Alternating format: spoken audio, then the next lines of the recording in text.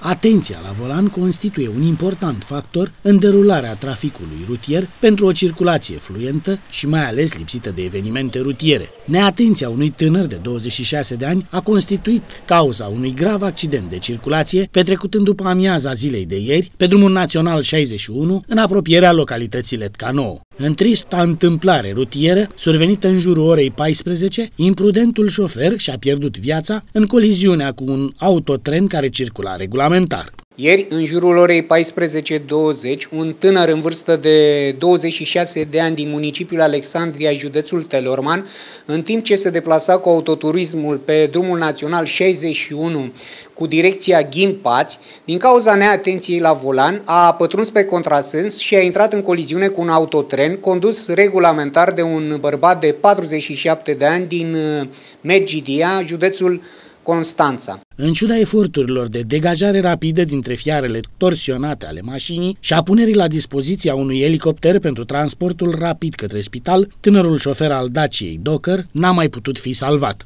În urma accidentului, conducătorul autoturismului a fost rănit grav și transportat cu un elicopter la un spital din București, ulterior acesta a decedat.